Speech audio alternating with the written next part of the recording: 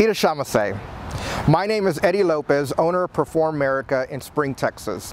I'm excited to be here along with the Hiroshima Wind Orchestra under the direction of Tatsuya Shimono to showcase for the first time ever excerpts of this fantastic ensemble premiering Robert Jager's Symphony No. 3, The Grandeur of God.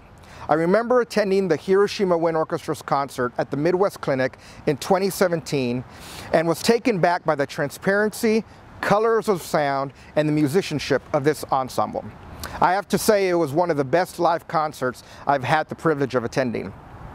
We are honored to be collaborating with the Midwest Clinic in their virtual event by sponsoring the Hiroshima Wind Orchestra's concert that will be the featured performance on Thursday, December 17th. I hope you can join us. Without further ado, I'd like to present to you the Hiroshima Wind Orchestra.